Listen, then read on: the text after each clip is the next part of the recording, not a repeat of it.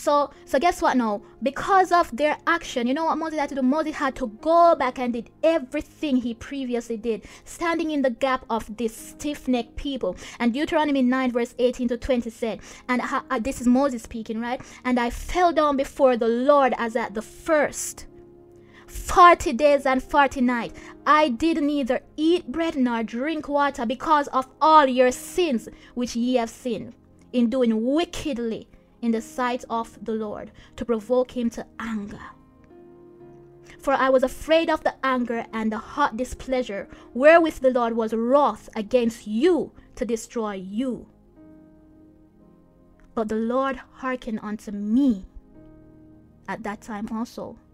And the Lord was very angry, even with Aaron, because rightly so.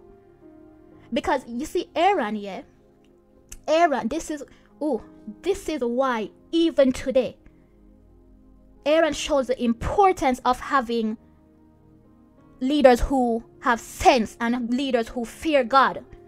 Because you see, if a leader fear the people more than they fear God, the people will force and persuade the leaders, weak leaders, to agree and to pass laws that they know isn't good.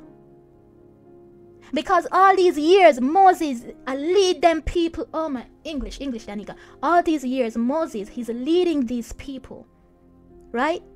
And Moses he could stand firm and stand in the gap. And he was, whether them like it or not, he's doing the right thing for them. Because you see, sometimes when you're doing something that's good for people, they don't see it until years later, until it late, and they say, oh my days, I should have listened.